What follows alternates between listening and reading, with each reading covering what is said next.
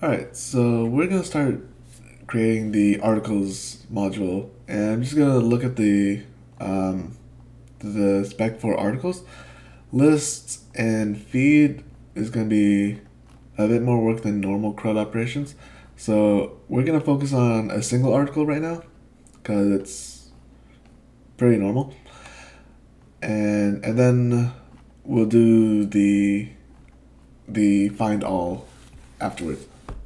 So first let's generate the modules using the Nest CLI. So I'm going to do Nest generate module article, then the service, and I'm going to add the no spec uh, flag so that we don't create um, the unit test, and then finally the controller. And then we'll open up the article directory and you'll see the files that we generated. Alright, I'm going to close some directories here just to give us some room. And let's open up the module first. And we're to need a couple of imports. So I'm to do imports here. Uh, the first thing we want is the TypeORM module. TypeORM module. And for feature for all of the entities that we want. So we know that we want the article entity, so article entity. And then we're also to want the user entity. Uh, that's for, um, was it article ownership and all of that. And then we're to want to import um, the auth module so that we have access to the auth guards. Uh, I think that's to be all for now. And let's go into the, uh, let's go to service first. Um, and then in the service, we're going to add a constructor so that we could uh, inject the repository. So I'm to inject inject repository. Uh, this is for both the article and user. And first, let's do the find one, which where the constraint is going to be by the slug. So we're going to do find by slug here. And we're going to be given the slug, which is going to be a string. And we can do this dot article repo find one where slug. And Let's make sure that we return this. And then the next thing is we're gonna want to add a create option.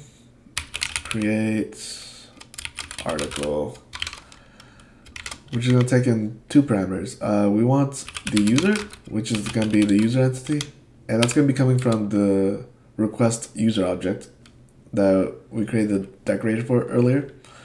And they also want the data. And this is where we're going to want to create a, a, data transfer object or a DTO. So I'm going to do touch, um, where, where did I put all the stuff? So source, models, this is the article dot models dot ts. Then we can open that up and we'll get, we'll just do an export class, um, create article DTO. And then if we check the README, the the data transfer object is going to be looking like this, the title, title, description, body, tag list. So that's what the create's going to want. So title, string, body, string, description, string, and then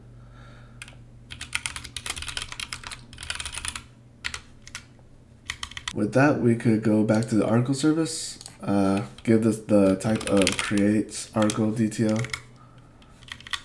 which we need to import. And here we could do a return. Um, we're not to want to return. We're actually to have some logic. So article is to be equal to this dot article repo dot create data and then uh, we need to populate the the author field. So it's gonna be article dot author equal to user. Then we can do uh, then we could add in a wait here to do article dot save and finally we'll be able to return the article. And now we're having a wait, so we need to change this to an async method. And let's look at the README again. Um, so it's gonna be by the slug for update and delete. Okay, so in the service, we're gonna need to make another, uh, we're gonna add a helper function and I'm gonna make it private. So, um, after we find the article by the slug, we're gonna need something to ensure ownership, which will take the user and I'll take the user entity here. Um, yeah, you know what I'm gonna do? The user, user entity, as well as the article, which is gonna be the article entity. And we'll just return, um, what is it? Article.author.id is equal to user.id. So it should just return a boolean here and we can make it a little safer by adding the return type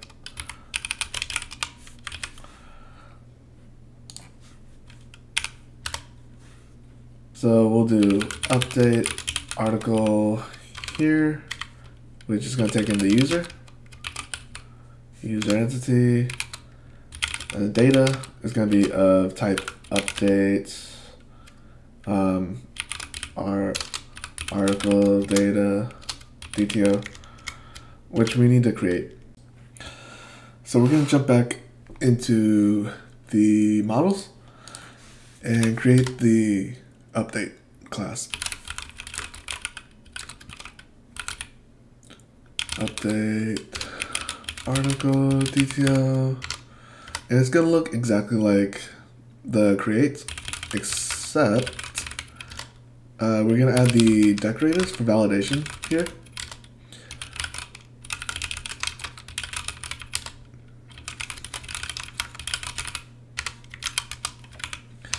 So let's add the validation um, properties from class validator. So all these are going to be, whoops, is string, is string, is string, let's add that space and then this is is array. Actually, I, I don't know. Um, class validator. Array of strings. What does that look like? Okay, so it looks like it's gonna be is string where it's gonna be each true and you can copy all of this, paste,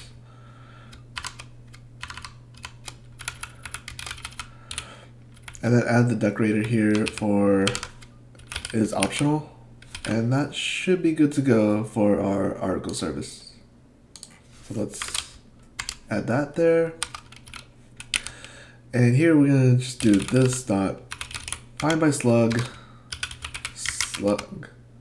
Oh, we're also gonna want the slug here, so slug. And const article equals. And then we'll do this dot ensure ownership of article.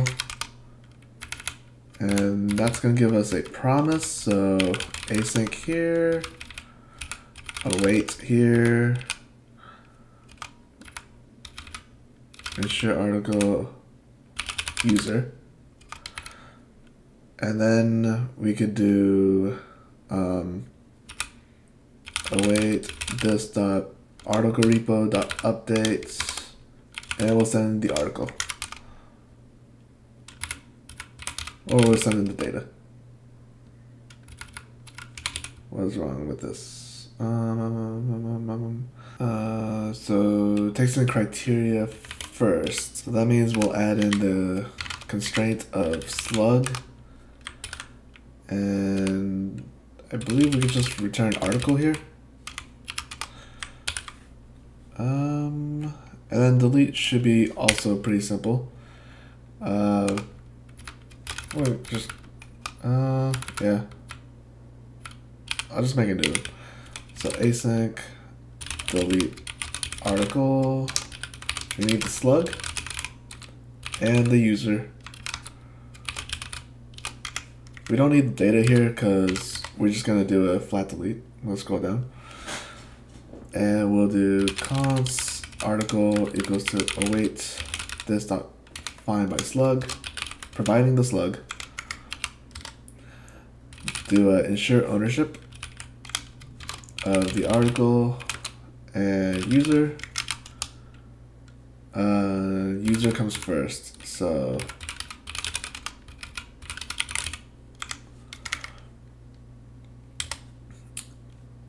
and there's gonna be a wait. Oh, not not a wait. Um, and then we can just do a wait this dot article repo dot remove. I believe it's called. Yep. And and we just provide the entities. So article here. And then I just noticed that I made a mistake. So ensure ownership gives us a uh, boolean and we're not actually checking the boolean here. So I'm gonna do um, if here and open this up Let's get rid of that semicolon. So, um, if the user doesn't own it, then I'm gonna throw an error, and I we do an unauthorized exception. New unauthorized exception, and we'll do the same thing here. So if oop, get rid of that semicolon row new unauthorized unauthorized exception and I'm forgetting the exclamation point here. Save. Now we could jump into our article controller and the first thing that we're to change is it's to be slash articles. And let's do, um, so we want to do a get here for not just at the root, but at slash slug, slug, and it's going to be uh, find by slug,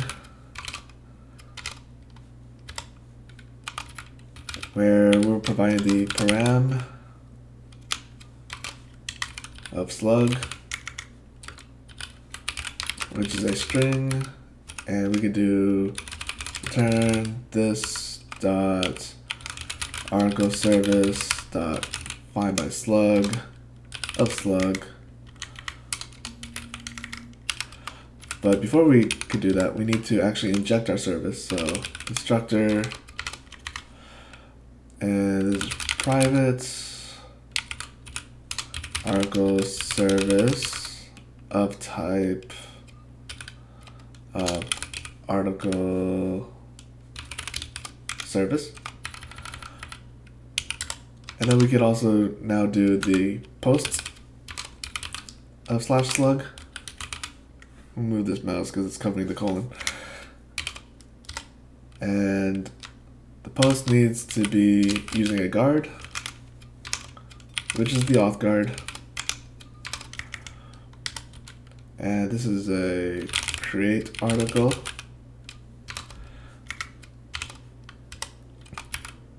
Okay, we don't actually need this slugger, so. But we do need the user decorator, which gives us the user, which is a user entity. And we also need data, which is in the form of article colon create article DTO. And this comes from the body, which we could pass in the validation validation pipe. There it is. And then in create article, we could just run the service. So we'll, uh, actually this has to be an async function because of the way that we're returning the information. So we're gonna find, or we're gonna do the create first. So it'll be article equals to uh, await this dot article service dot create article. And let's see we need to send in the user first. So user and then data dot article. And we want to return it in an object envelope like this. So article and that goes the same for find by slug this is going to be async there's going to be const um, article equals to, to await. And we're going to return article like so. Whoa. Okay. And let's add the update and update's gonna be put at slash slug. Uh, we'll still need the guard.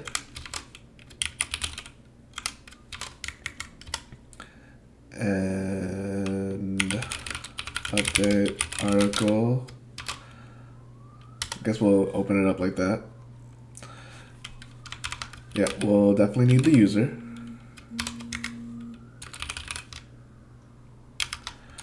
User entity. And we need the body which we're going to use a validation pipe. Data is going to be in the form of article, update article DTO, and let's open this up. And it's going to be the same format. Um, oh, we also need the slug, so let's get the param of slug here. Slug, which is a string article equals awaits this dot article service dot update article and let's see what the order is. Slug first then user then data. Slug user data dot article return article.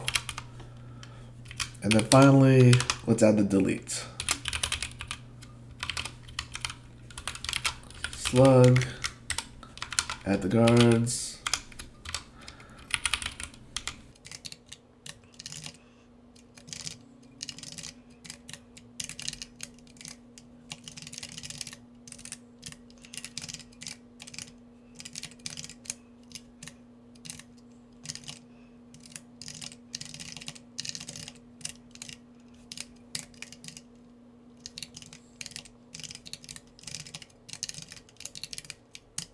All right, cool.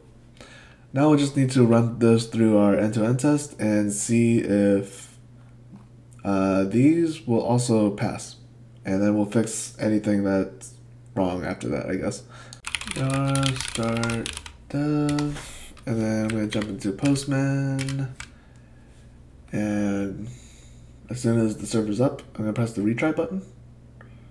Or actually, over here, I'm gonna go back to our database connection and change the drop schema to true so that we'll have a fresh database. All right, retry. Here we go. All right, so if we go down to articles, and that should be here. We're skipping the all articles right now.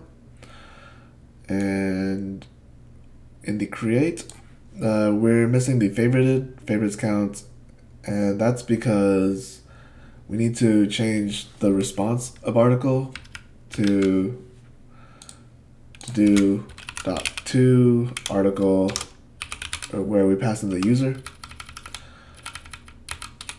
Dot to article user and that's also true for the find by slug here um, since we're reusing find by slug in down here I'm actually gonna go into the controller for the find here and I'll just do article dot to article um, yeah, this is gonna want the use guards, the optional guards, a new optional auth guard. Let's get rid of this here.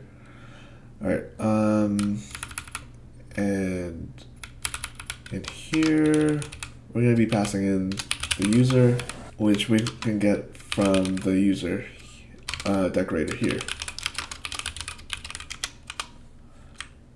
Let's save. And then there's one last thing that I messed up on that took me a lot longer than I'd like to admit.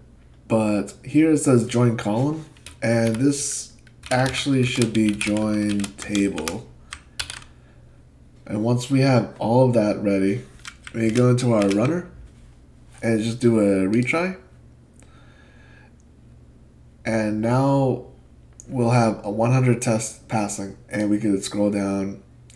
Uh, as I mentioned, all articles we're skipping for now, but create is fully passing.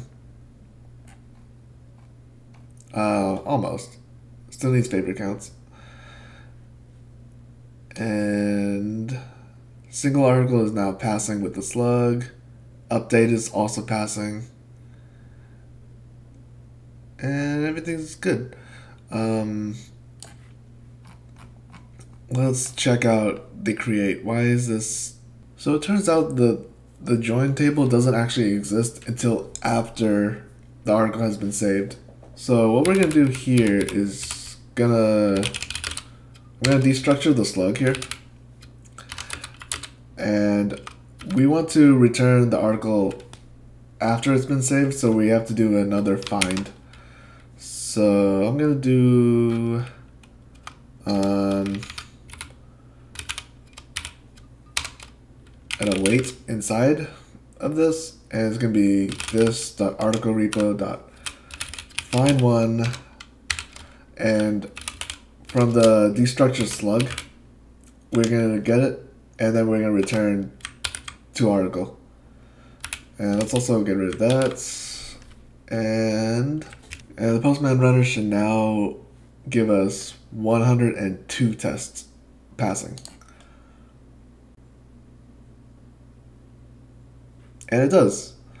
Alright, so in the next video, we're gonna fill out some of these other tests and hopefully get this number to uh, pass all of them. Um, we have a ways to go, but we're, we're gonna get there.